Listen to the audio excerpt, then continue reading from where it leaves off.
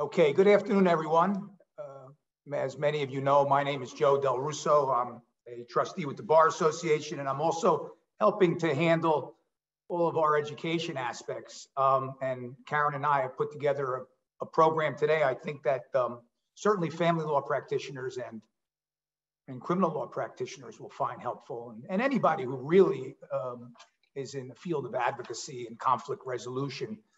Um, and our speaker today is Victor Vieth. Victor is a uh, colleague of mine and a longtime friend. And um, I first met him in 1999 when I went out to San Diego, California to be uh, trained in the Child First Finding Words interview protocol. At that time, it was a nascent program. And, and Victor had um, established a collaboration with the Corner House Training Facility in Minnesota. And at that time, he was with the National District Attorneys Association and the American Prosecutors Research Institute. Um, and he and he arrived there from I think Cottonwood County in rural Minnesota, where he was a prosecutor and and um, established his name rather quickly as one of the leading experts on child welfare and child maltreatment and its intersection with the criminal justice system. Um, and from that point on, from his uh, establishment of Child First Finding Words, he became a, a leading um, advocate for children, uh, not only in uh, his area of the country, but throughout America. And his um, reach spans not only the US now, but he has trained professionals all over the world, including Saudi Arabia, uh, Russia, uh, Colombia, Japan, and um, uh, other places that have embraced a progressive response to child maltreatment, and child welfare. Um, he is now the Director of Education and Research for Zero Abuse Project, as I said, and up there in Minnesota and throughout the country develops long-term strategies and develops programs nationally and internationally. And obviously he's, he's, he's well in demand. And today's subject matter, which um, I'm hopeful you all find interesting and, and helpful in your practices is um, trauma, but specifically trauma in male victims of sexual exploitation and other uh, trauma that male victims experience and its impact on them as children and more importantly on their development as adults. Without any further uh, discussion, let me give you Victor Vieth.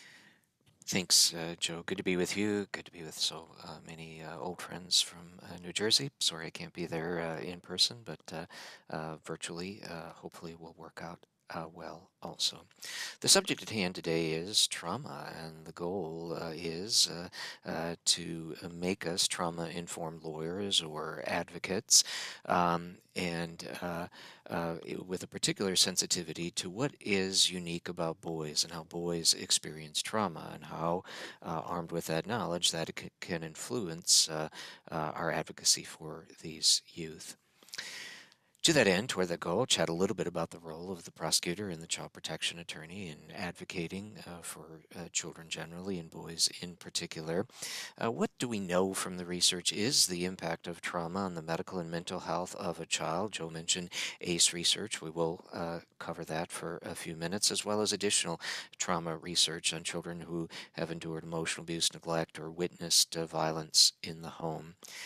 And then we'll focus on what, if anything, is unique about how boys may experience a trauma. We'll look at some studies saying the boys are more reluctant to disclose a history of trauma than are girls. They tend to delay for a longer period of time. And what does that body of research tell us uh, as to why that might be? We also know from some academic studies that boy and adult male victims have access to fewer resources than do female uh, victims. And we do know that uh, most boys, when they've endured trauma, fit into multiple categories of abuse, which often uh, makes the impact of trauma worse. They are what the researchers call poly victims. And as Joe mentioned, uh, we'll uh, talk a little bit about uh, baseball. I'm a huge baseball fan, so excited for opening day a few days away. Uh, and we're going to talk a little bit about Mickey Mantle and R.A. Dickey, two uh, uh, a man who played baseball in New York. And they're really good case studies to bring alive some of these studies we'll see from United States Department of Justice uh, data that children who commit sexual offenses, 93% of these children are boys. Well, if it's true that most uh, juveniles who commit a sexual offense are male, why might that be? What what again is uh, uniquely going on in the brains uh, of these boys that may contribute to acting out in sexually inappropriate ways? A commonly ignored uh, topic uh, is the research on the spiritual impact of trauma, and in some settings, such as the sexual abuse scandal in the Catholic Church, the primary victims, 80%, were boys. So, what does that research tell us? About the spiritual impact of being abused by a faith leader and how can that in turn impair your physical and mental health. We'll talk about that. And then we'll uh, talk about good uh, advocacy for those of you who are attorneys. What does good medical care look like for boys who've endured trauma? What does good mental health care look like? What does good spiritual care look like for these survivors? You uh, may work with forensic interviewers. What would be unique about how boys experience trauma that forensic interviewers should take into account when they speak with a male victim of abuse?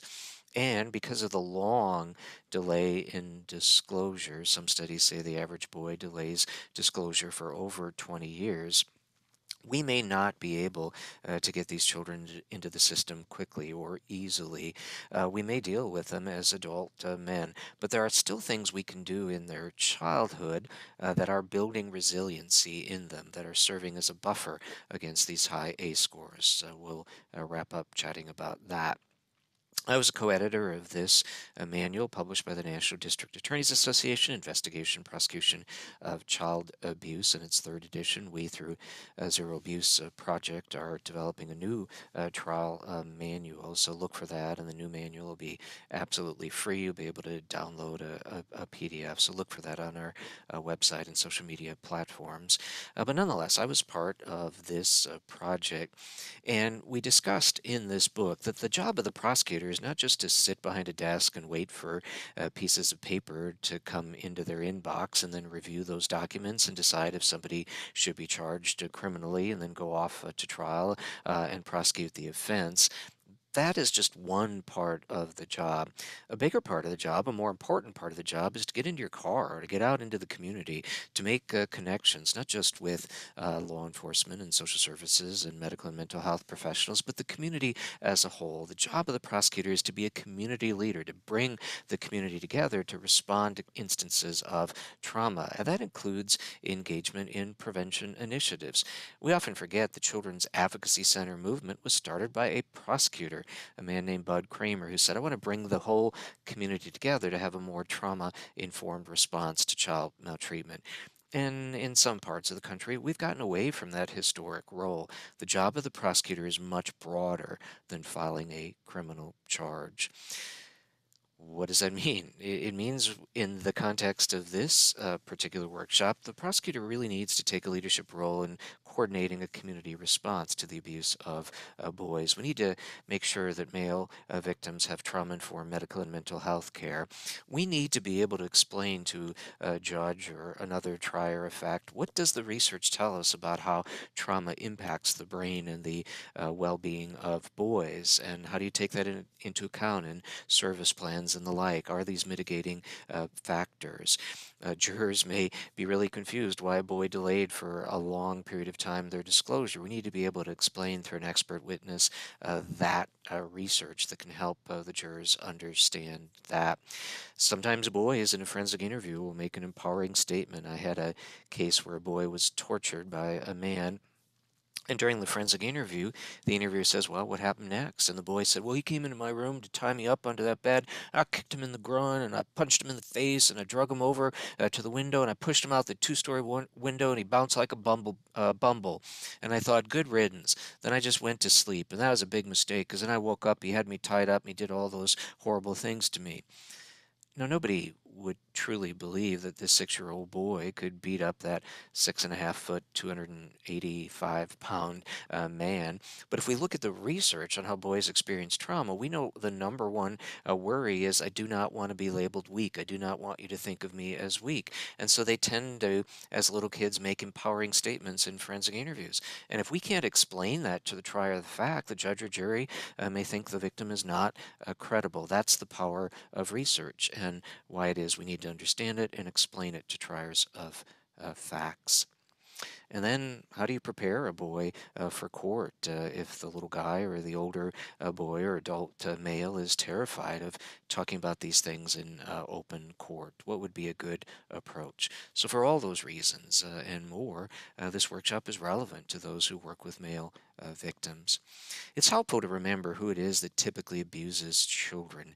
It is typically mom and dad. It is typically in the home. If we're looking at neglect cases, 100% of the time it's mom or dad or their significant other. Uh, sexual uh, or uh, psychological abuse, 93% of the time the offender is a, a caregiver. 91% of beaten kids, it's mom or dad who beats them. Even when we get to sexual abuse, 60% of the time the perpetrator is mom or dad, more likely dad than mom. But even if you go outside the immediate family uh, unit, it is still often in the extended family. It's grandpa, it's an uncle, it's uh, an older brother. Uh, uh I think of uh, uh, Josh Duggars and cases like that. And that is part of the explanation when we look at the research on boys that causes them to delay. We know, though, that abuse in the home often uh, uh, leads to abuse uh, outside of the home. If, for instance, we look at the research on trafficking in the United States, over 90% of trafficked uh, children were violated multiple times in their own home. Many of them were reported into our child protection systems, but for one reason or another, we couldn't collect the evidence to document that they were being uh, maltreated, or we had weak service plans, or otherwise didn't address the underlying trauma. And then as the kids got older, they simply uh, ran away, uh, and then it's tough out there uh, on the streets, and many of these children ended up being trafficked. I get frustrated when policymakers say, let's pour another $50 billion into uh, trafficking. Sure, we should uh, care for the kids that are being trafficked, but if we really want to stop trafficking in the United States, the source is abuse in the home. All right, with that backdrop, what does the research tell us about the physical and the emotional impact of trauma, and then what, if anything, is unique about how boys experience trauma? Way back in 1998, Vincent Felitti was overseeing a major weight loss control program in San Diego, and he noticed something in the program that was shocking to him. He noticed the men and women in the program who were doing the best at losing weight were also the quickest to drop out of the program and rapidly regain their weight. In fact, they would regain their weight at a level he previously thought was physiologically impossible. He just didn't know what to make of that finding. So he began to study the backgrounds of these patients, and what he learned is all of them had endured significant childhood trauma, and unconsciously, and in some instances consciously, they were overeating as compensation. Yeah, yeah, yeah, I know it's not good to overeat. I know obesity creates health risks, but it's also soothing. It's also comforting. It takes my mind off my pain. It gets me through the day. It gets me through the week. It gets me through the month. It gets me through the year. It gets me through my life. And now you, Dr. Felitti, are taking away my only coping mechanism. And so I had to drop out of your program and rapidly regain my weight. As a result uh, of that finding, Dr. Uh, and his research partners had what they called an epiphany. We came to recognize that in the context of everyday medical practice, the earliest years of infancy and childhood are not lost, but like a child's footprints in wet cement, are often lifelong. He was so intrigued by the uh, finding in the obesity clinic, he said, Gosh, if there's a clear uh, correlation between obesity and childhood trauma, what else is there a correlation with? So he queried 17,000 men and women participating in an HMO in San Diego. It was a solidly middle class population. You can't look at the ACE research and say, oh, I wouldn't have anybody like that in my community. It was a cross section of the country. The research has now been replicated in all 50 states on more than 450,000 adults with very similar results. If you work in an urban community, if you work with a high percentage of low uh, income uh, families, uh, the numbers you're about to see on the screen go up uh, from here. But think of these numbers as a base level of trauma, and depending on the demographics you work with, it may actually be higher in your community. He asked these patients, as a boy, as a girl, were you psychologically abused? Did you have a parent who said to you things like, you're stupid and ugly and fat and I wish you were never born? 11% said, yeah, that was very much a part of my childhood. 28% said they were beaten, and he clarified you were hit so hard that there were manifestations of the blows on your body. There were bruises, there were cuts, there were broken uh, bones. You could see the slap mark on your face when you looked in the mirror. More than one out of four said they were beaten to the point of an injury. One uh, more than one out of four women and about one out of six of the men said they were sexually abused as children. And he clarified this wasn't you're walking through a park and somebody flashes you. Somebody actually touched your genitals or forced you to touch their genitals. Massive levels of trauma, he discovered in the ACE study. 13% grew up in a home where their mother was beaten. 13% knew what it was like to see mom with eyes that are blackened or she can't get out of bed in the morning because her ribs are so sore because of the beating she endured the prior evening. More than one out of four grew up in a home where somebody was addicted to drugs or alcohol. 6% had somebody in the family go to prison. 17% had somebody hospitalized for a psychiatric condition. About one out of four were not raised by both of their biological parents. 10% were neglected physically, which is not a result of poverty. That would be a different issue. These parents had the financial means to do so, but purposefully, willfully, consciously withheld food, clothing, shelter, medical care, other necessities from their children. 15% were neglected emotionally, which is different than emotional abuse. Emotional abuse is proactive. You're ugly. I wish you were never born. Emotional abuse means you grew up in a home where nobody said, I love you, care about you, you're special, you're a really great kid. How would trauma of this nature impact the child's medical and mental health? Well, to assess that, he uh, said, well, if you fit into one of the categories, uh, such as physical abuse, that means you have a, a, a score of, as, as one. It didn't matter to Felitti if you were beaten one time or 20 times. If you simply said you were beaten, you had an ACE score of one. If you fit into a second category, such as such as sexual abuse. Again, it didn't matter to him uh, whether you were sexually assaulted one time or 20 times by one person or five people. If you simply said you were sexually abused, now you fit into two categories and you had an ACE score of two, and so on and so forth. So you could have anywhere from an ACE score of zero meaning you didn't have an adverse experience in any of the 10 categories, or an ACE score as high as 10, meaning you had at least one adverse experience in each of the 10 categories. If you simply had an ACE score of 1, and it didn't matter which of the 10 categories you fit into, he found that throughout your life cycle, statistically, you were more likely to suffer from hundreds of medical and mental health conditions, including things we would never think of being correlated with child abuse, things such as cancer. Now, why would cancer be correlated with childhood abuse? Well, there's a couple of reasons. A trauma changes the development of your brain. It weakens your immune system. Every day, all of us are uh, developing cancer cells, but for most of us on most days, our immune system is protecting us. Well, if you had a high ACE score, uh, your immune system would be weakened and you're more susceptible to disease, including cancer, or heart disease. You're more likely to have a sexually transmitted disease, liver disease. You're more likely to smoke, to abuse alcohol, as we mentioned, to suffer from obesity, to be dependent on drugs, to be an IV drug user, to engage in early intercourse, to be pregnant before you leave high school, to suffer from numerous mental health conditions, including depression, anxiety, hallucinations, disturbances in your sleep, disturbances in your memory, a tougher time controlling anger throughout your life cycle, more likely to be either a perpetrator or a victim of domestic violence, a tougher time holding a job throughout your life cycle. For those of you who are attorneys, do you know any client who suffers from these conditions? If so, maybe we need to shift from what's wrong with you to what happened to you, what is driving these particular behaviors. This is if you had an ACE score of 1. If you had an ACE score of 3 or more, you were off the charts. So let's dig a little deeper. In terms of psychiatric disorders, 10% of men, 18% of women diagnosed with depression have an ACE score of zero. So certainly you can suffer from mental illness and not have endured trauma. But look at what else Felitti found.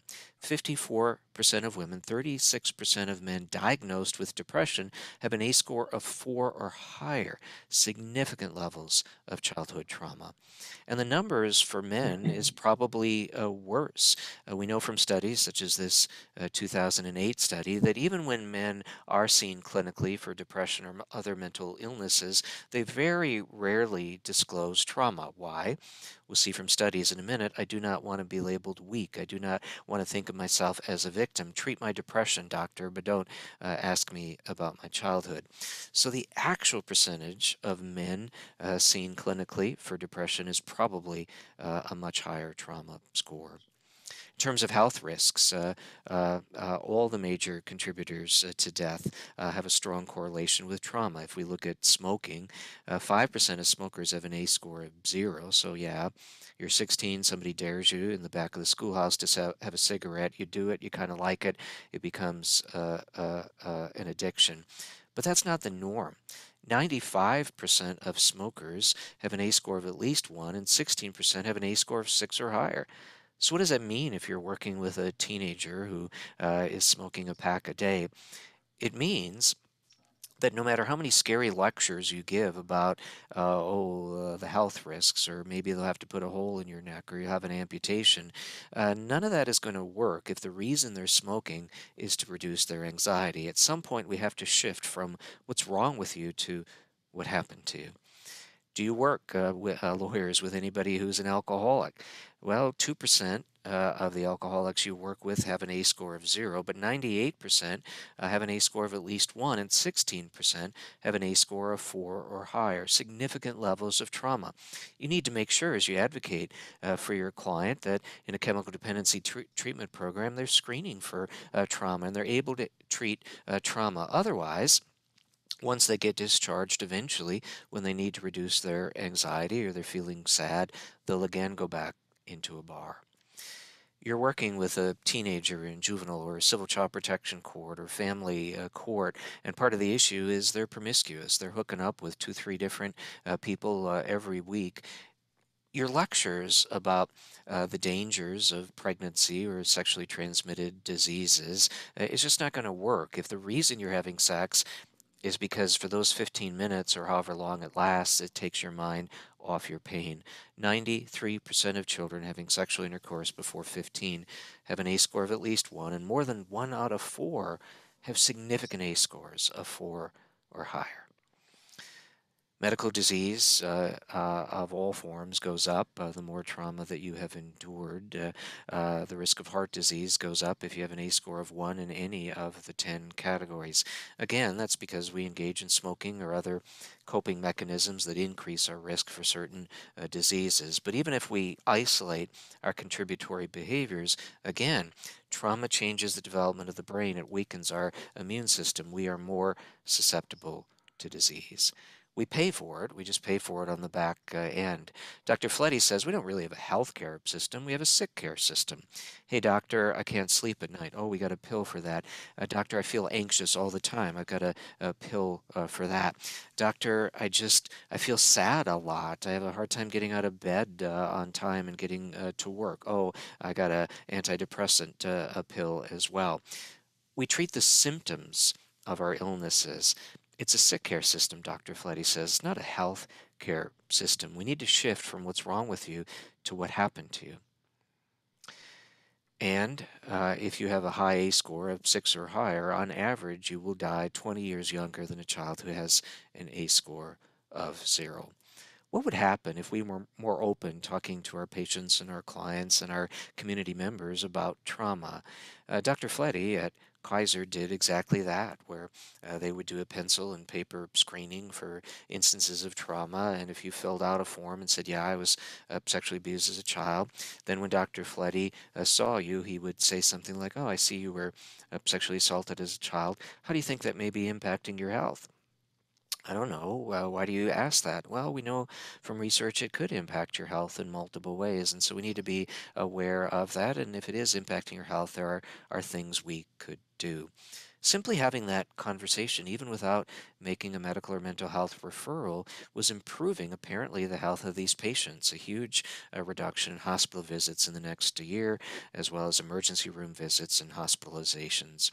Now, why is it that just being honest and open and talking about this might influence our health? We don't know, but Dr. Felitti's clinical impression was there's a therapeutic benefit to having your deepest, darkest secrets shared with another human being, and that other human being still treats you kindly. He gives the anecdote of an elderly woman who disclosed for the first time a history of sexual abuse by her father, and he uh, does the conversation we just went through. And the next day she writes a letter and says, I cannot tell you how much that conversation meant to me. My whole life, uh, I've gone uh, around with the belief that if somebody knew what happened in my childhood, they would look at me differently. They would treat me uh, differently. Plus, they'd never believe me because my dad was such an upstanding member of the community. So I was all alone all these decades. But you, Dr. Felitti, you just matter of factly discussed this with me. You uh, uh, gave me information of how it could impact my health. You gave me uh, resources and made it clear that you were open to continuing the dialogue. And because of your kindness, I look at the world today in a completely different way. I wish somebody had had this conversation with me when I was 13. Very consistent with ACE research is a body of research from the University of Hampshire New Hampshire called polyvictimization. David Finkelhor and his team looked at 11,000 documented cases of abuse, and what they discovered is a child who is abused in one way is almost always abused in multiple ways. Specifically, two thirds of maltreated children fit into at least two categories of abuse, and about a, th uh, uh, a third of maltreated children fit into uh, five or more categories of abuse. That was one important finding. A second important finding was in terms of ACE characteristics, behavioral symptoms that you as a lawyer might pick up on, it's more strongly correlated to the number of categories of abuse you fit into as opposed to the number of times you're abused. What on earth does that mean? Let's say in juvenile court you're working with two uh, maltreated children, Billy and Molly. Both Billy and Molly have been maltreated three times, but there's a difference. Molly over here has been sexually abused three times. Billy over here has been sexually abused once, emotionally abused once, and beaten once. Although both Molly and Billy have been maltreated a total of three times, because Billy fits into three different categories, he is more likely to be running away from home. He is more likely to be truant from school. He is more likely to be flipping over a desk in the classroom or being defiant of his uh, school teacher. He's more likely to struggle at nap time in the first uh, grade. He is more likely as he gets older to become a juvenile uh, delinquent. So when you see these behaviors, you have to think of the possibility of trauma and the possibility of trauma in multiple categories don't ever fall into the trap oh the child i'm working with uh, uh, they only endured neglect or they only endured emotional abuse. That's not as bad as being beaten or sexually assaulted. That is not supported by research. The ace research found that any of the 10 uh, categories was increasing your risk for poor outcomes. And this american uh, psychological association uh, study found uh, that for children who endured emotional abuse or emotional neglect it was just as bad and in many instances is worse uh, in terms of the short and long term impact on children than being sexually or physically abused. With that background, what then is unique about how boys may experience trauma? They're raped, they're beaten, they're emotionally abused. Does it impact them differently than it does girls? The answer from a number of studies appears to be yes. This study, for instance, looked at boys uh, who endured maltreatment as children, and they discovered that when boys were sexually abused, it was rarely an isolated instance. Uh, more than half were abused five or more times.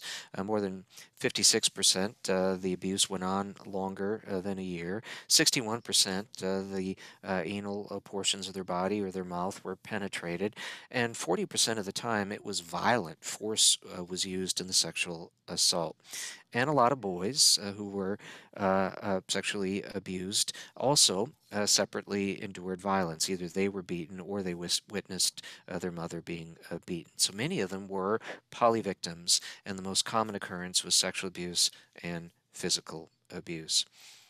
In this study of 3,200 men, about a quarter were beaten as uh, children. Remember, the ACE research found 20% uh, 8% uh, of adults were beaten as children, and about a third of these beaten children were violated in at least one other category. And again, the most common co occurrence for boys is physical abuse and sexual abuse. And this study found that if you were beaten and raped and emotional abuse was accompanying it, I'm beating you because you're the devil's child. I got to beat the devil out of you. I'm sexually uh, assaulting you because you're just you're you're you're just such a, a horrible kid. I wish you were never born. That that made uh, the physical and sexual abuse all uh, the worse. I was part of a team that investigated physical and sexual abuse in Christian boarding school from the 1980s. Uh, and person after person, and almost uh, all of them, not all of them, but most of the victims were, were men, they would tell me, you know what? I can get past the beatings, my broken bones uh, have mended. I can get past the rapes because I just think these people were crazy. But I've internalized what they said about me. I am ugly. I am fat. I am stupid. That's what I see when I look in the mirror. That's the hardest part for me to get over. It made the abuse worse, and in those instances, uh, harder to overcome. How often do maltreated boys access uh, mental health care or medical care? Well, in terms of mental health care, they are less likely uh, to access these services than are uh, female victims, at least according to this uh, body of research. Many men just don't want to go to a therapist. Uh, I don't want to admit uh, that I was weak, or at least I don't. I'm terrified of being labeled as a weak person. we might cover something that's a trigger. I cannot allow myself to cry in front front of you. I'm a man. I need to uh, tough it out. I can get through this on uh, my own. And unwittingly, or purposefully, or uh, uh callously, some service providers uh, uh, still buy the old notions that boys are not quite as impacted as our female victims. This is a really interesting study from Kaiser Permanente uh, where they talked to men who were sexually assaulted as children and they documented how into adulthood virtually uh, none of these uh, men uh, wanted to go to a doctor if they had prostate or other issues where their genitals or anal portions of the body would be examined because they knew it would be a trigger. It's an extraordinary study to take a look through. here's some of the men that were interviewed in the study. this victim of sexual abuse as a boy said, with my last heart attack, I almost didn't call 911 because I was so scared they'd put uh, a, a, catheter into my groin. I told my cardiologist of the problem. When I was on the table in the operating room with uh, Valium and morphine, somewhere deep in my brain, I realized there was a needle stuck in my groin. Um, I, I, start to flail about on a full blown panic attack. The doctor calls for a crash team. They have people hold me down while they administer restraints, and they get, get an anesthetist to put me completely under. I wonder if there'd been a, a more trauma informed response, could they have uh, uh, avoided this particular reaction? This is another victim in that Kaiser study. This man says, I went to a urologist due to prostate symptoms. I couldn't find a woman urologist that would see a man. I told the urologist about the sexual abuse when I was a child, but he just didn't get it. He told me to drop him, meaning pull my pants down, when he wanted to examine me. When he did the digital rectal examination, I winced because of the discomfort, and he makes this crass joke, and I didn't even buy you a nice dinner. Is that a trauma informed uh, medical approach uh, to uh, male victims of sexual assault? Of course not. But we are often trauma informed when we work with women because we know a large percentage of women were sexually abused. And so uh, the Kaiser study says there's a ton of medical literature out there when you're examining a woman's uh, breast or the vaginal uh, area. You need to be sensitive because there's a good chance many of them uh, were sexually assaulted as children or adults. But we don't have that sort of literature for male victims, even though one out of six of them were sexually abused as children. We need to change that. Later on, we'll talk about what trauma informed medical care would look like. This uh, is one of several studies that reach the same conclusion, finding that boys, when they are sexually assaulted as children, they delay the disclosure much longer than uh, do uh, female uh, victims of abuse. So in this study, they talked to men who delayed for a long time, and they said, what kept you quiet for so many decades? The number one answer was weakness. I do not want to be labeled uh, weak. In our society, boys are supposed to be tough. They're supposed to be strong. Uh, think of the uh, boy uh, torture victim I told you earlier, who during the forensic interview says, "Yeah, I kicked him in the ground, punched him in the face, I pushed him out uh, the window." Right? And of course, we know that couldn't possibly be true. But what he's saying to our team is please don't think of me as weak. Please don't label me a weak. I have a friend uh, out west who prosecuted a priest for sexually abusing a number of uh, boys. The boys were all men when the government discovered the crimes. And these men all told the detectives, yeah, I was six, I was seven, and the priest took me to a, a shopping mall, and there were hidden corridors, and he sexually assaulted uh, me. Well, the case ends up on the desk of the prosecutor, and she knows it's not true. She knows uh, that the mall didn't exist when these uh, victims were uh, five or six. Instead, they had to be 15, 16 years of age when they were being sexually assaulted. So she called the detective. He says, You're right. I can't believe I missed that. He goes and re interviews the men. Most of them back down. Most of them say, You're right, I lied. But don't you see, detective, why I had to lie? If the word gets out that, you know, I was 15, 16, and I just froze, I wet my pants, I couldn't call out, I didn't know uh, what to, to do, you know, I was the captain of the junior high football team back uh, then. Uh, people uh, are never going to uh, accept that I just uh, froze. I, I, I could have pushed them away. I just didn't do anything. I just uh, did whatever the priest asked of me. Even today, I'm known as the toughest business negotiator in this community. I cannot afford, for the sake of my business, to have the word get out that I was a teenager when I was sexually assaulted we need as lawyers to understand that dynamic when we work uh, with these uh, clients and be able to explain that to triers of fact. A second uh, factor identified in this and other studies, a lot of the victims said, I don't want, I didn't want to be labeled gay back then. And a lot of things could be going on here. Maybe you're not gay, you don't want the label. Maybe you are gay and you haven't told your parents or uh, others uh, yet.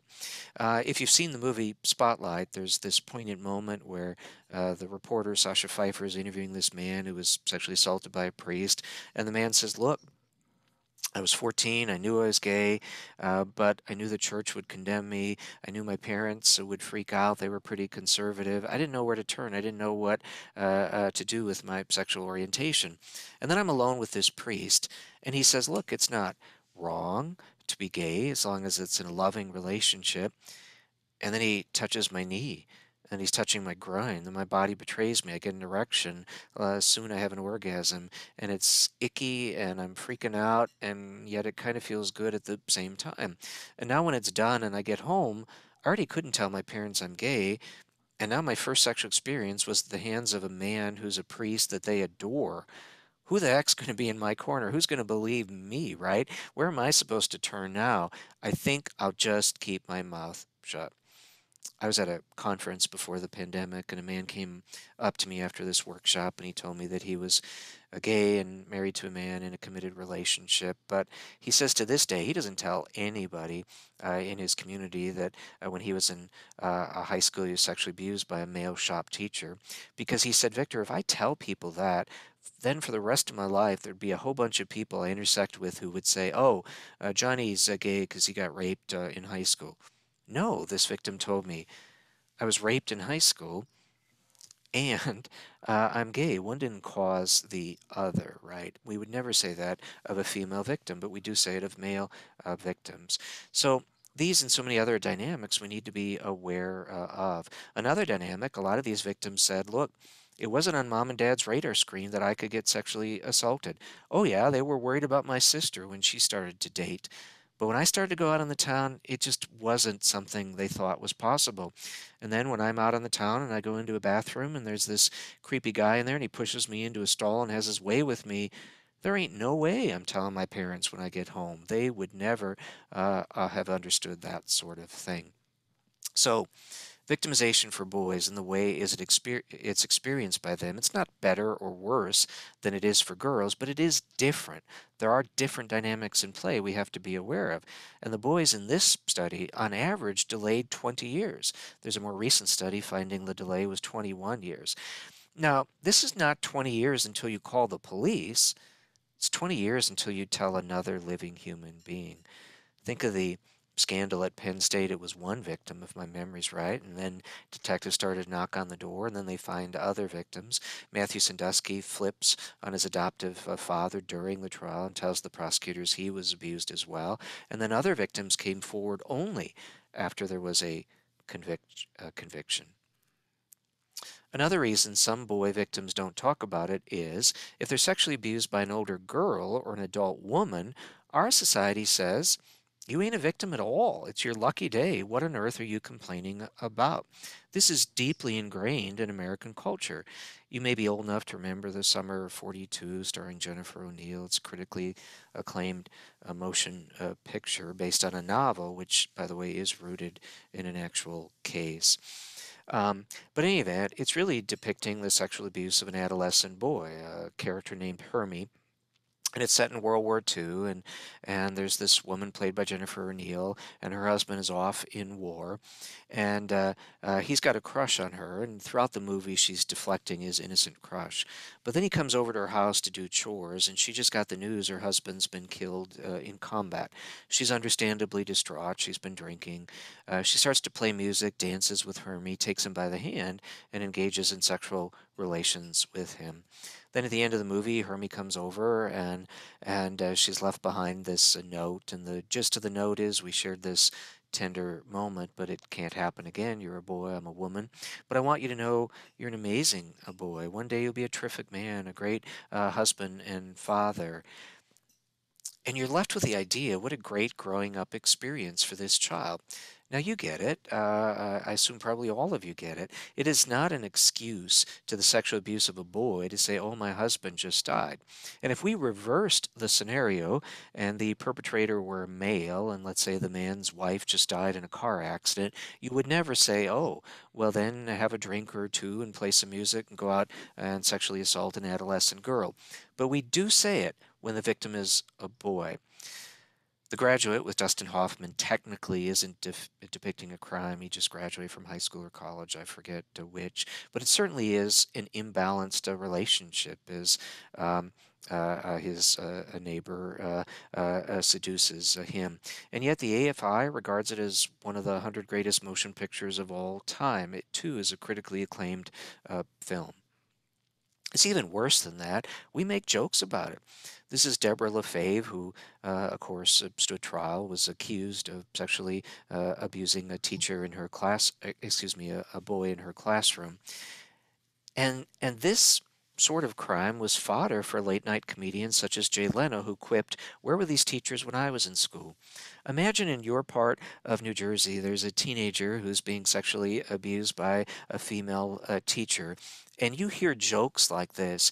Do you honestly feel like you can go to the police or social services or your parents or somebody else for help? Our society says you're not a victim at all. It's your lucky day. What on earth are you complaining about? This is the reality of boys being sexually abused by older girls or adult women. I'm a huge baseball fan, so I read a lot of baseball books. And here are uh, two baseball uh, books that highlight what the research is telling us.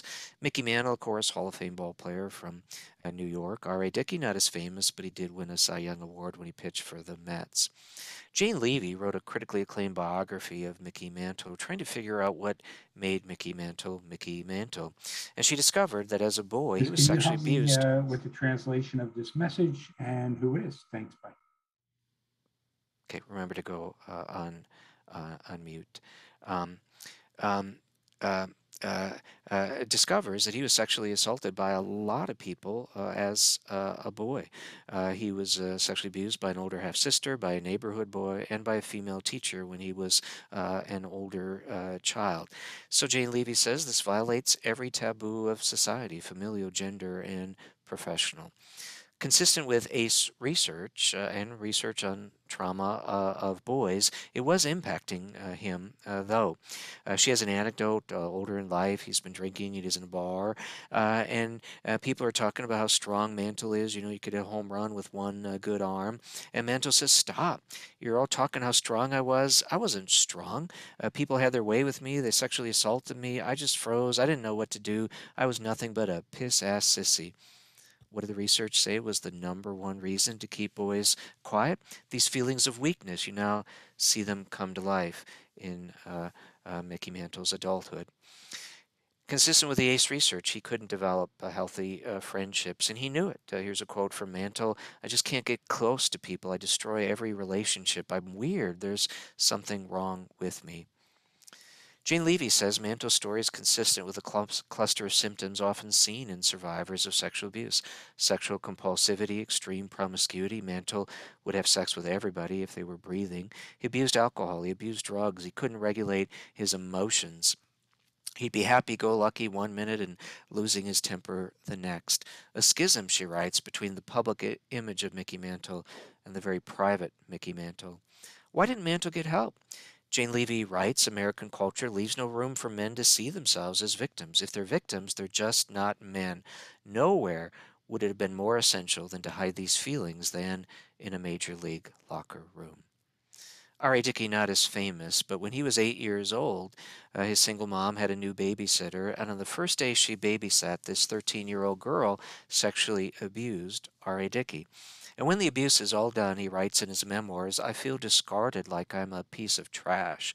She acts as though she's mad at me, as if I hadn't followed her orders properly. I lie on a bed by myself, wondering if what just happened is real. I am still trembling, still sweating. I feel paralyzed. My limbs are leaden. She has her way with me four or five times that summer and into the fall, and every time feels more wicked than the time before. The venues shift to the bathtub and other places. I try to cover my private parts with bubble bath, but it just doesn't work. With every encounter, my goal is simply to get it over with as quickly as possible. Every time I know I'm going back over, the sweat starts to come back, my mouth gets dry, I sit in the front seat of the car next to my mother, anxiety surging in me like a hot spring. I don't know if my mother notices. I never tell her why I am so afraid. I never tell anyone until I am 31 years old. What did the research say was the average delay for boy victims? 20 years. A more recent study says 21 years. R.A. Dickey is actually above uh, the average, delaying the disclosure uh, until he is 31 years old. I keep the secret, he writes. I keep it all inside the details of what went on beneath the hot, sticky sheets of a Tennessee summer, of the orders and the odor and the hurt of a little boy who is scared and ashamed and believes he has done something terribly wrong. He just doesn't know what that is. Mahatma Gandhi said, We must be the change that we seek. Can we all agree, whatever your job is as an attorney or another uh, professional. Can we all agree, for the sake of the boys in our uh, communities, that the next time there's a high profile case of a boy being sexually abused by uh, an older girl, an adult woman, and we hear somebody making jokes like the Jay Leno quip or were these uh, teachers when I was in school, we will not let the moment pass. We will say, Excuse me, but the sexual abuse of a boy is just as bad as the sexual abuse of a girl. And we know from research and common sense that if a victim overhears comments like that, it's already really hard uh, for them to make an outcry. You've made it that much more difficult. Please don't say things like that again. Can we all agree to do that?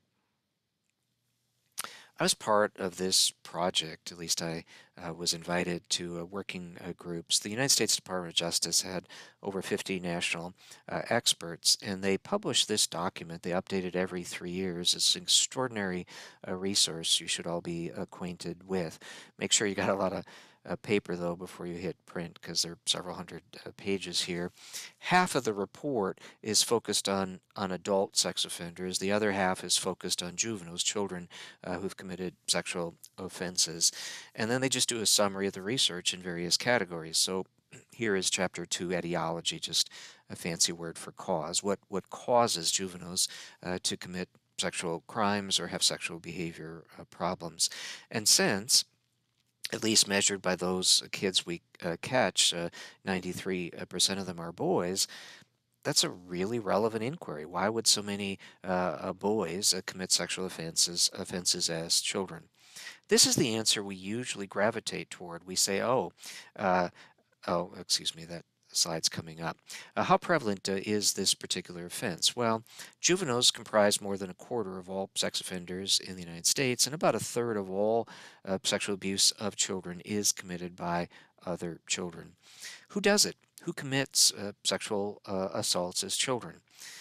Well, uh, this Finkelhor analysis said 5% are younger than 9, 16% younger than 12. You see this spike in adolescence. Now, what's going on in adolescence? You're going through puberty. So, if I wanted to prevent uh, juvenile sexual behavior, I think I would really target uh, and really make sure I'm covering uh, my, my, my boys uh, in my community. And then 46% are 15 to 17 years of age. Again, 93%, uh, at least those who get caught, are boys, 7% are girls. It's certainly possible we have more female offenders. We're just not uh, catching them. But right now, measured by who gets caught and has a delinquency charge, it is overwhelmingly boys. All right. So why might uh, boys commit these offenses? This is the one we usually gravitate toward. We say, oh, uh, that boy must have been sexually assaulted himself. This study found there is a correlation between your own uh, sexual abuse and your sexual uh, misconduct uh, as an adolescent or teen. But the study also found that it's not just any old sexual abuse. It's sexual abuse that begins at a very young age, it goes on for a long period of time, and there's no meaningful intervention. Now let's connect the dots. If it is true that boys delay their disclosure much longer than girls, 20 or 21 years, depending on which study you uh, look at, and uh, and it's true that even if uh, they do see a mental health provider, provider, they're less willing to talk about their own histories of trauma, therefore less uh, uh, able uh, to access quality care. And if it is true that there are fewer resources for boys or men, then it might uh, be part of the reason we see more uh, boy uh, juvenile sex offenders than we see uh, girls with sexual behavior problems. Statistically, though, this is a, a stronger correlation. The study found that uh, uh, being beaten as a child was a stronger predictor uh, of you engaging in sexual misconduct as an adolescent or teenager. If that is true, why why might that be? Well, we know from the ACE research, a lot of kids get hit. 28% uh, uh, of children are hit to the point of an injury. We also know that boys tend to get hit more often than girls. If, for example, you look at school corporal punishment in the 19 states where uh, paddling is still uh, practice, most of the boys who get uh, paddled excuse me, most of the children who get paddled are uh, boys, and many of them uh, uh, have already endured trauma in their own home. I mentioned that boarding school case uh, earlier.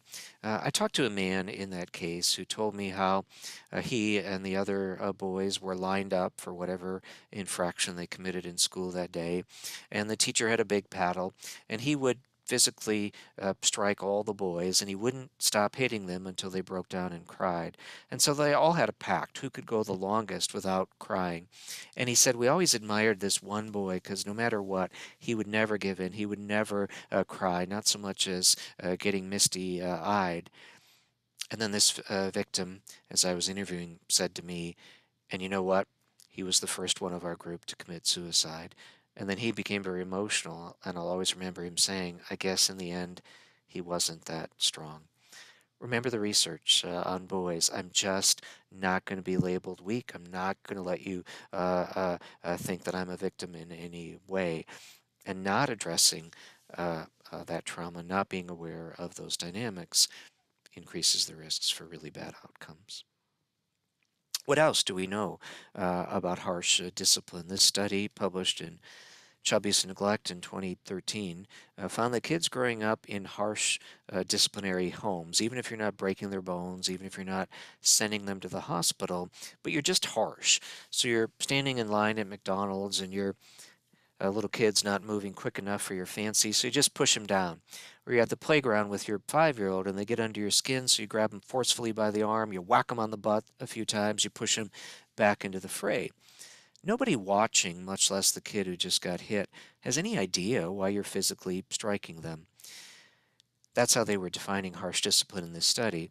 And they found that kids uh, uh, growing up in a harsh environment like that, as they got older, they were at ele elevated risks for cardiovascular disease, arthritis, obesity, a history of family dysfunction, and a number of mental health disorders, all consistent with ACE research.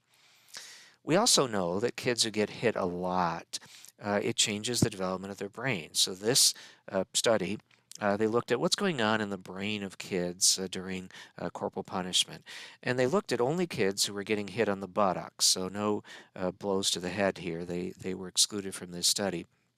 These kids were hit on their buttocks, but it was a lot. They were getting hit at least once a month for three or more years, and some with uh, belts or other instruments. And they noticed a clear correlation uh, between a high level of corporal punishment and the loss of gray matter. I'm a lawyer, not a doctor, but gray matter uh, may have a correlation to your IQ. It may have a correlation to your ability to control your behavior. So again, let's connect the dots. If it's true that boys get hit uh, more often than uh, girls, um, uh, uh, and if it goes on for a long period of time, that may reduce the part of the brain they need to control their behavior.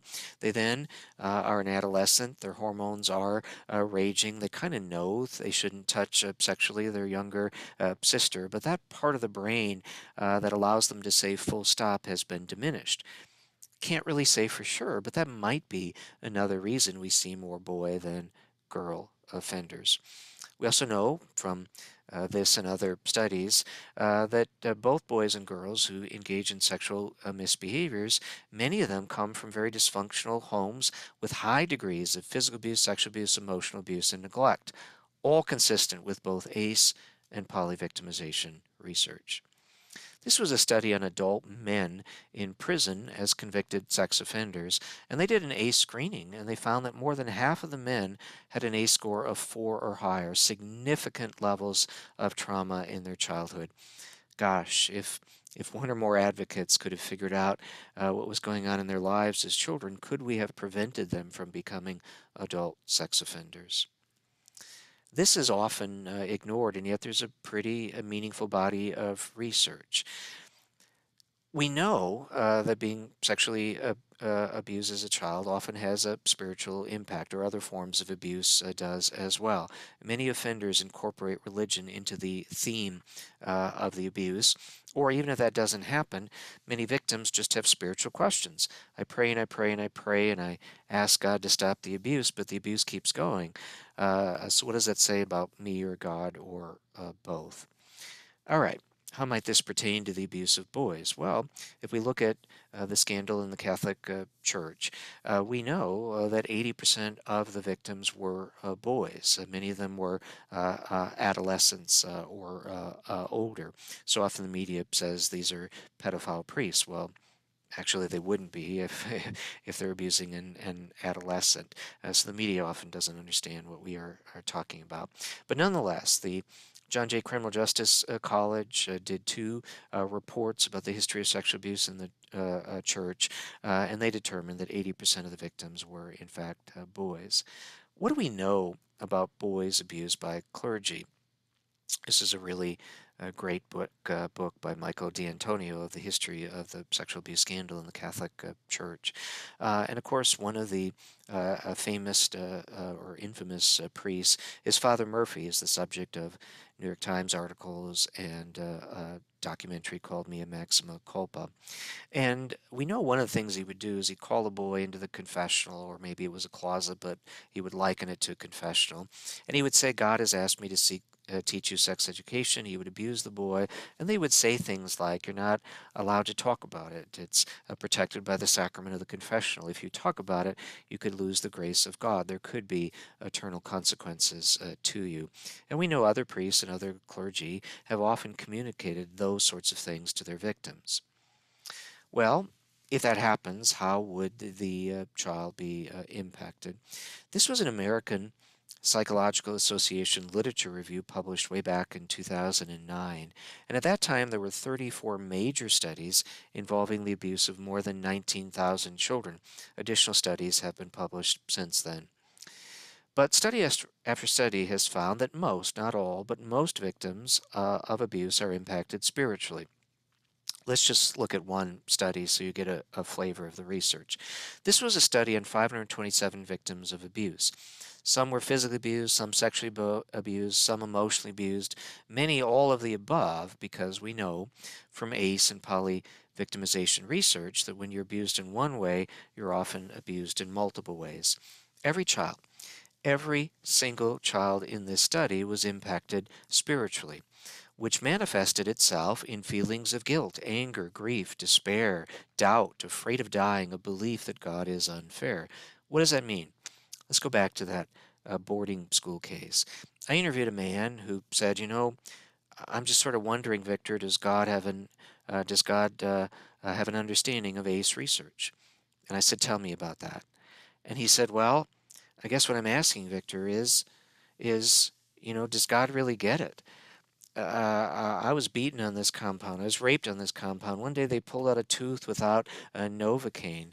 All my friends were beaten or raped. My best friend uh, took his life on this compound. So I get it.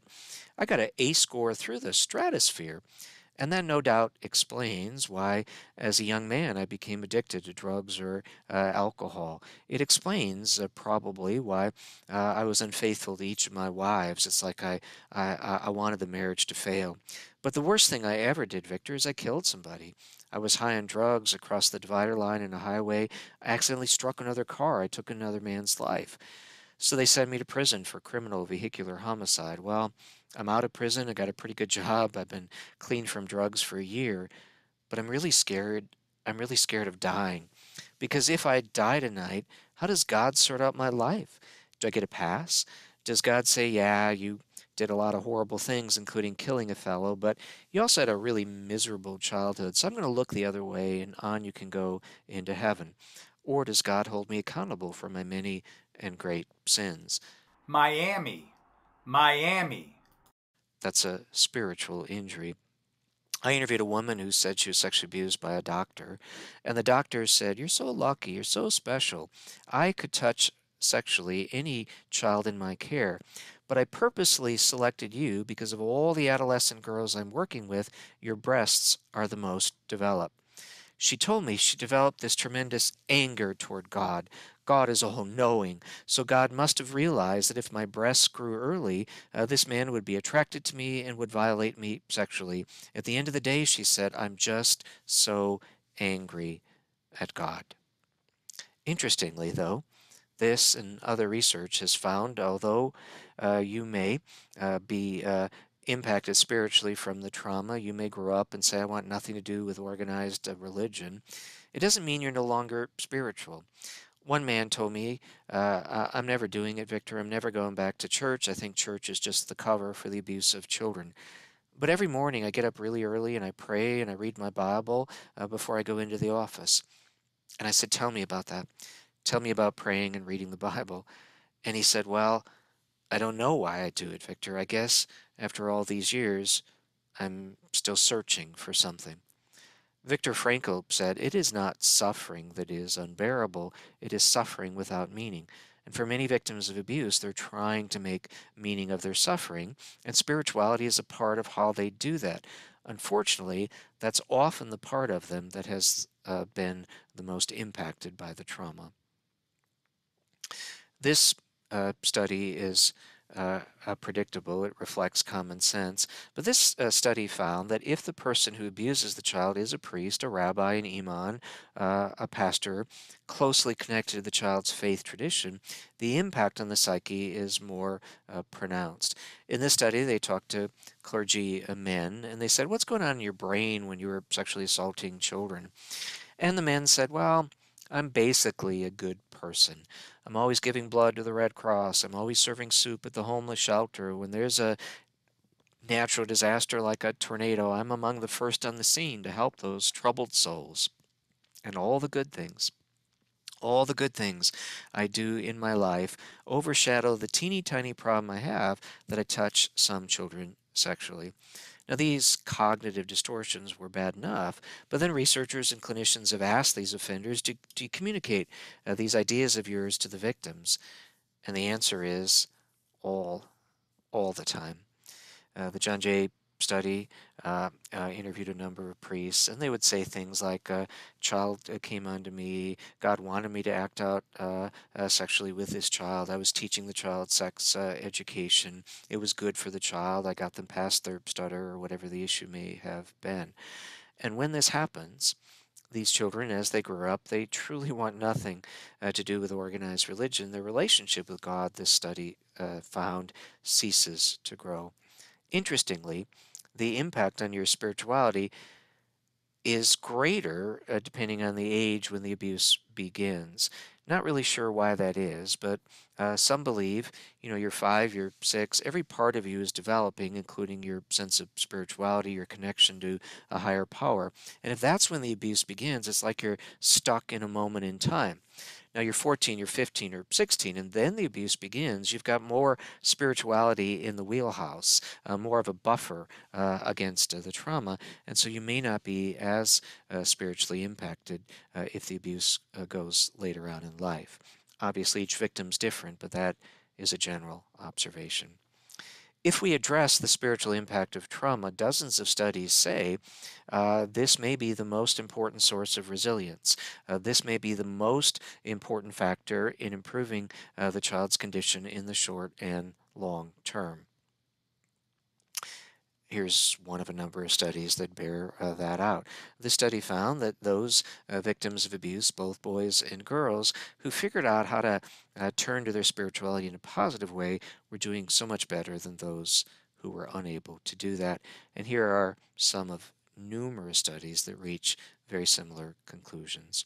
John Hopkins did this uh, massive uh, study finding that adult victims of abuse who maintained a healthy uh, connection to their spirituality, even if there was never meaningful medical or mental health uh, interventions, they were doing a whole lot uh, better uh, in responding to their high ACE scores. They still may be impacted, but the impact was muted. The American Psychological Association recognizes this phenomenon. They have published not one, but two treatises for mental health providers to utilize when working with victims of abuse or other trauma. And they say in these treatises, go ahead, use cognitive behavioral therapy or EMDR or other evidence based approaches, but within that framework, for those victims for whom it is important, there's plenty of room to explore their spiritual questions. This 2017 study documented how often in forensic interviews or MDT investigations, sexually abused children were raising spiritual questions. Am I still a virgin in God's eyes? Questions along those lines. And they found that some CACs are just ignoring it. That is not trauma informed uh, uh, practice. Some CACs were saying, well, Kids Jewish, I'll get a rabbi. Kids Catholic, I'll get a priest. Kids uh, Protestant, I'll get a minister, and so on and so forth. Sometimes that worked out uh, well, but it was sort of luck of the draw. Do I really have a trauma informed clergy person or not? And so the researchers said, we have got uh, to do a better job here. We have to dramatically improve the knowledge of our child protection professionals about this body of research. We also have to dramatically improve the knowledge of faith leaders about what trauma informed spiritual care would look like. And then we got to get faith leaders in the same room with the other professionals and teach them uh, how to coordinate medical, mental health, and spiritual care. One of the things uh, I'm very proud of uh, is we have helped now six accredited children's advocacy centers implement a chaplaincy program. The very first was in Greenville, South Carolina. This is Reverend Carrie Netto, she used to work as a pediatric chaplain, so she already had skills of working with kids who've endured trauma. Maybe they were in a car accident, their parents, uh, parents uh, perished uh, in the accident, uh, and she had worked with kids uh, like that. So she already had a lot of skills and met board certified chaplaincy credentials. Well, then we provided her additional training to be a CAC chaplain, and she became the nation's first CAC chaplain. It's just a service Nobody is required to access it, sort of like chaplains in the hospital or military or police chaplains. They're just a service uh, out there. Last year, 535 children or adult uh, family members asked for the services of the chaplain. The other thing that Carrie does is she gets out and about in the community and she educates other faith leaders about what trauma informed spiritual care would uh, look like. So if she's working with a victim and needs to make a referral, let's say the uh, child is Baptist, she wants to make a referral to a Baptist minister, she won't make a referral to any old Baptist pastor. She'll find somebody uh, who's been trained uh, in trauma informed care and knows how to coordinate that spiritual care with the medical and mental health providers at the CAC. It is a promising practice, and we're working with uh, two uh, prestigious researchers to document the efficacy of the model. Again, at least six CACs that I know of uh, now have either a full time or part time uh, chaplain because the research says we need to address this. We also need to improve mental health care for boys. Uh, this study found, uh, even in a clinical uh, setting, uh, many men uh, just didn't want to label themselves uh, as abuse victims. Um, and it was really hard for them to disentangle multiple forms of abuse in these clinical settings. So, uh, one thing we can do is if we're talking to uh, a male a victim in a therapeutic or other setting, don't ask a question such as, Were you sexually abused as a child? They'll often say no. Instead, you might ask the sort of question that was posed in the ACE study. When you were a boy, did anybody touch your genitals or force you to touch their uh, genitals? As a boy, were you ever hit so hard that you had injuries? That's harder to ignore uh, and is more likely to result in helpful information. If you're working with a boy or a, a girl who uh, has engaged in sexual misconduct and is in juvenile court, we do know that treatment can have uh, a positive impact. So look at this uh, data taken from the SOMAPI report. They looked at uh, kids, most of them were boys, uh, who were adjudicated delinquent for having committed a sexual offense as an adolescent or a teenager. They measured recidivism at both a 10 and 20 year interval, uh, comparing boys who, mostly boys, who went through treatment with those who uh, did not. And, and look at the results, whether it's another sexual assault charge, another violent charge, but not of a sexual nature, or any charge at all, as simple as you know, stealing a Snickers bar from the local gas station.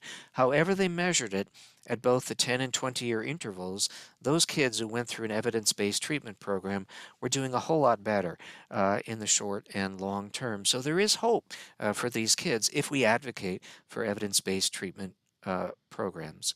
What sort of treatment programs should you be advocating for for these children?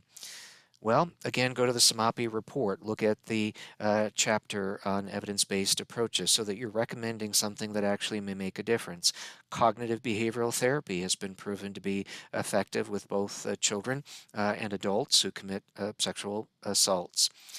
Um, this uh, uh, analysis uh, found that multisystemic therapy, where we keep the child in their natural environment but pour services into their church, into their home, into the uh, schools that they're at, uh, may be the most effective. Now, that's also the hardest to do, and sometimes you can't do it uh, if the uh, victim is in the same home with the offender.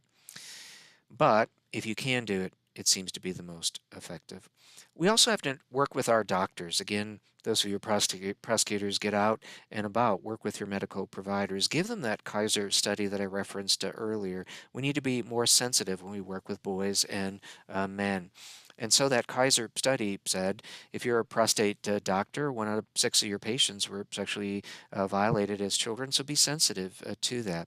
And just as you would working with a, a woman examining her breasts or vagina, you'd be trauma informed. And as part of uh, taking history, uh, you might ask, hey, any traumas in your childhood I should be aware of that might be uh, triggers during the uh, exam. And if they uh, want to share with you uh, a part of their history, stop taking notes with your pencil or typing things into the laptop. Make eye contact. Truly listen. Truly be engaged with your patient. Do they have a preference for the gender of the doctor who'll be examining them? And if so, talk about uh, that.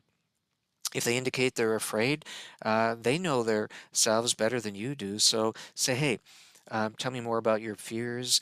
Uh, what can I do to alleviate your anxiety? I remember I had an invasive procedure where I'd be awake and they said, Do you like music? And I said, Yes. And they said, Who's your favorite artist? I said, Johnny Cash. They played Johnny Cash music during the whole uh, 90 minute uh, procedure. It was very uh, uh, soothing to me little things like that we need to be proactive in uh, doing.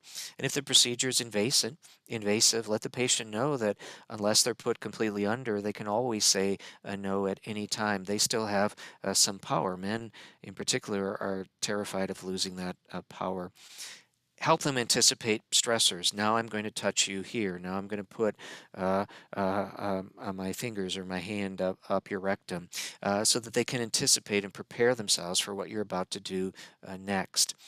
And then explain uh, to them uh, procedures for undressing or uh, touching. Uh, tell them exactly why you're touching them in the intimate parts of the body. Because if you don't uh, tell them, the trauma brain of theirs will often go to, oh, uh, you're doing something here just because you're getting your jollies out of that, right? Tell them why you're doing something that's invasive, particularly to the intimate parts of the body. Let them know if you're going to ask for positioning that might be a trigger to traumas they endured in childhood or another point in their life. And then during the procedure, take a sounding from them. How you doing? You're doing okay? Uh, anything I can do to, to, to help you? Uh, uh, be engaged with the patient during the procedure. For those of you who are or may work with forensic interviewers, be aware of these uh, dynamics. Boys are more reluctant to disclosures. They have this uh, fear of being labeled uh, weak. So simple things like reassuring them. I talk to lots of boys. Oh, I guess I'm not alone. Uh, let them know whatever happened is not your fault. Often they are told that it is uh, your uh, fault. Uh, if that kid says, I beat him up as he was torturing me, uh, say, is that what happened or what you wished uh, happened? That might get them off the dime and certainly don't empower and ask for details of statements you know are not accurate. That'll only hurt them later on. And then if it does come up, have an expert witness to explain why a child may be making empowering statements during the forensic interviewing. I want to leave you with some hope. A lot of children, especially uh, boys, will never make an outcry no matter how often you teach personal safety or, or make other uh, steps. But many of them will grow up just fine. And oftentimes they grow up fine because of you or another adult who was caring and compassionate uh, in their uh, life. A third to a half of all uh, victims of sexual abuse grow up and they don't have the sort of ACE characteristics we discussed earlier, and that's because many of them are resilient. What makes a child resilient? Well, you do. Were you supportive of them when they shared a history of uh, trauma? Did you do what you could to get them into good uh, medical or, or, or, mental health uh, care if appropriate? Um, uh, were you supportive as a mandated uh, reporter? Uh, I always tell professionals you can't control what happens in this child's life, but you can control yourself and how you respond. I always taught prosecutors on their deathbed, every abused child will remember two people. They'll remember the person who hurt them, and they'll remember you. And they won't remember whether you got a conviction or not. They'll remember were you kind? Did you do everything you could to advocate uh, for them? That is what they will remember. Could you get them any sort of healthy uh, relationship with a caring adult or uh, a good uh, peer? That is building uh, a sense of resiliency. Can you do anything uh, to strengthen their family in civil child protection or family uh, court? Maybe mom and dad are emotionally abusive and they think sticks and stones will, will never hurt my children. Can I educate mom and dad that those words are actually as destructive, if not more uh, destructive? There is research from uh, Utah that if doctors and others just educate parents about uh, the risks of toxic uh, stress, they create uh, a conversation where parents often say, "Oh, I don't want to do that." I remember uh, what things were like for me as a childhood, and it creates um, a better outcome and can move parents away from uh, abusive tendencies. Do your doctors do things like that? Are you engaged with your schools? Are they uh, trauma informed? Do they even know what that uh, means? Uh, little things like, can I keep that maltreated child in soccer? That's building resiliency. Why? Well, my dad says I'm stupid, and my mom says she wishes I was never born. But the soccer coach says it's amazing how I can curl the soccer ball with my uh, toe. Uh, can I keep them in a band? Uh, can I get them a caring teacher or a clergy person or Boy Scout leader, some caring adult who's a good influence in their life? That is building resiliency. Victor? Uh, yeah. We need to give a, we need to give a code to the members uh, real okay, quick. Sure. Finish up, sure. So the program code is in Karen's window. It's TB29. TB29, Thomas Bill TB29. Write that down and you can put that on your registration form to get your CLE credits with the payment. Okay, Victor, go ahead, wrap it up. Yep, yep, almost done here. And and your anti-bullying programs in schools or other youth serving organizations, we also know, uh, build a sense of resiliency. Yeah, mom and dad yell a lot and they hit one another. but at school we don't do stuff like that and we resolve uh, our differences peacefully i like school i want to be at school uh, so those anti-bullying uh, programs are also building resiliency in maltreated children and again good health care and anything we do to uh, have safe neighborhoods all of that is building resiliency. A couple of resources for male victims you may work with. Male uh, Survivor has a lot of good resources, and they've got uh, groups uh, around the country who uh, meet. Uh, uh, they just have a lot of good stuff. And then One in Six has actually been doing a lot of research working with male victims. We actually have a grant with them on a, on a research study. They too are a great website with a lot of good resources for the male victims you may be working with. I love this quote from Dietrich Bonhoeffer, uh, even though some academics say he may never have actually said it to him, uh, said it, but it is attributed to him. Silence in the face of evil is itself evil. Not to act is to act. Happy to stick around, uh, uh Joe or uh, uh, Karen, if anybody has any questions.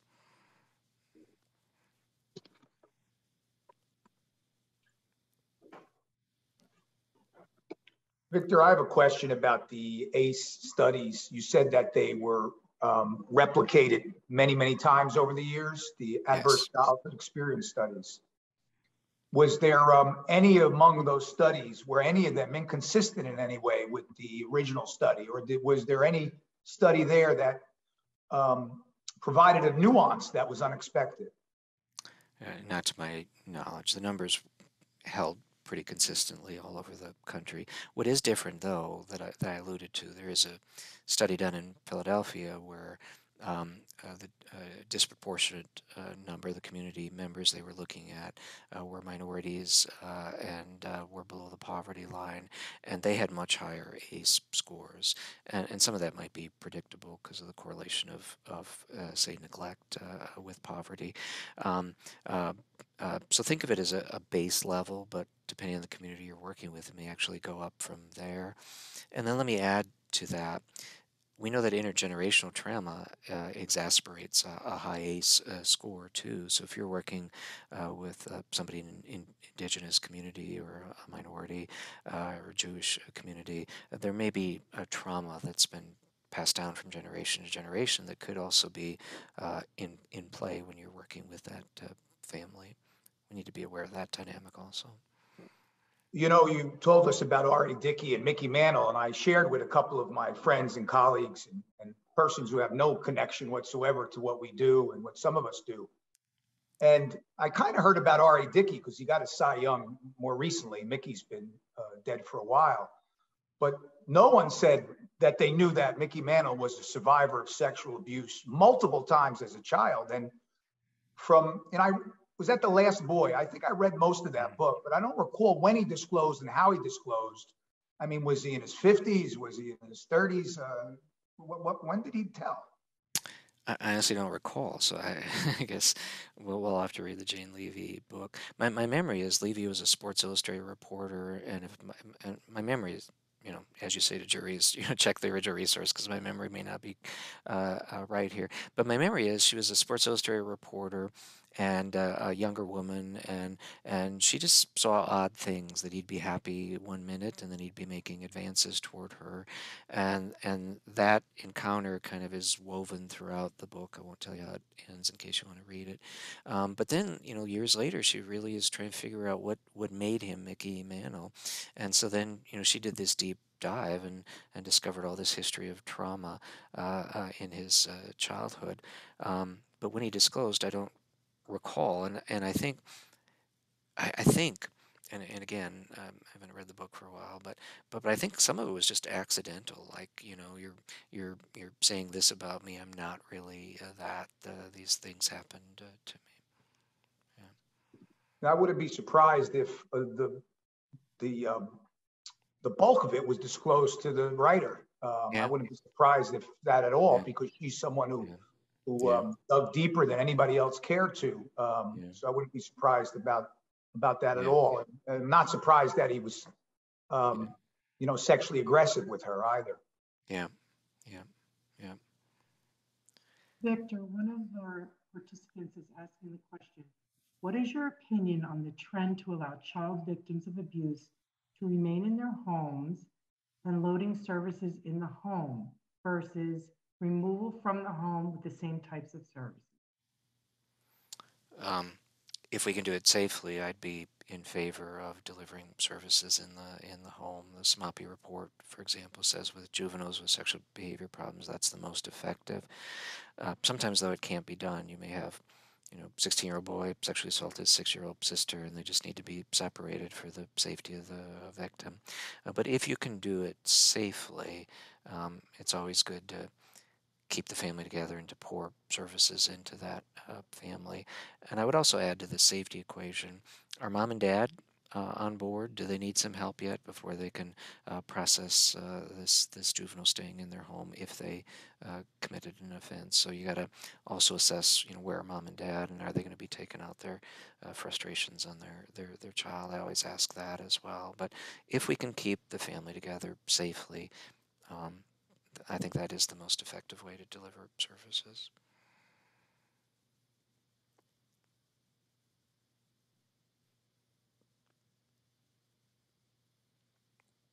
Okay, any other questions, Karen? You see anything in the chat room? No, nothing. Victor, any parting comments? Any new initiatives you want to plug while you're here? Um, Where, where you're traveling next? Most of our work's under a federal grant. We're under a travel uh, ban, so a lot of our work is uh, virtual. But um, um, that may be lifted in the, the weeks to, to come. So look for me all over the uh, country. Um, but yeah, Zero Abuse Project, we're a non-profit, uh, you know, mostly private donations and a lot of uh, state and federal uh, grants. Um, befriend us on social media, get on our email website. The very topic we discussed today, we've got a brand new article investigating, prosecuting cases of child sexual abuse where the victim is a boy, and it's a really good resource. Uh, and um, uh, it's uh, it's just gone through copy editing now. We have to get approved by the Department of Justice. So probably be a couple months before it's published. But you know, look for things like that. And if you don't like if you're not on social media and you don't you know want to go and fill out a form because you just don't want our stuff delivered to your inbox then just periodically go to our website and see uh, what's the latest under a publication section or the training section. Most of what we do is is is free. I mean i try and primarily work with child abuse prosecutors child protection attorneys but most of what we do is is is free and we've got a lot of free resources. So um, you use this as a as a as a resource. We we work for we work for you and, and the children we serve. Well, thank you, Karen. Some wrap up? That's, yep, that's it. Thank you, Victor. On behalf of the Passaic County Bar Association, we do appre- really appreciate your time. Thank you. You're welcome. Take care, everyone. All right. Bye bye. Thank you, everyone. Have a good one.